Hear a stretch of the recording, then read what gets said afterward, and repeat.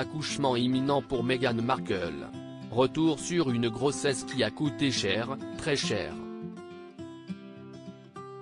Selon The Sun, Meghan Markle est sur le point d'accoucher ce dimanche 28 avril. Pendant toute sa grossesse, la duchesse de Sussex a tenté d'avoir le meilleur mode de vie possible et de bien préparer son accouchement. Mais cela a un prix. Découvrez-le. Selon les estimations du média britannique, cette grossesse royale aurait dépassé les 100 000 livres. Ces 100 000 livres comprennent, la méditation, afin que le bébé arrive dans une famille apaisée, du feng de la nourriture adaptée et biologique, et même de la peinture végane. Le coût comprend également le prix de la Baby Moon, que se sont organisés le prince Harry et Meghan Markle, dans un luxueux spa, le Eckfield Place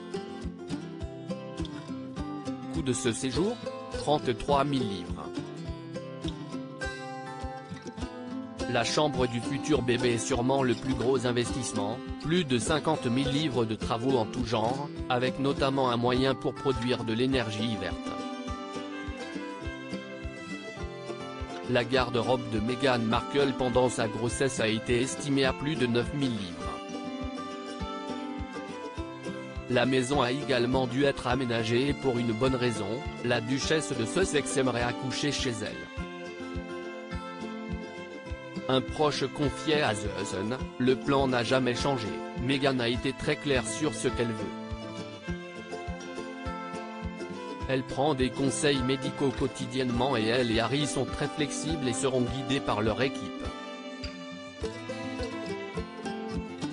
Si quelque chose ne va pas bien, elle ira à l'hôpital.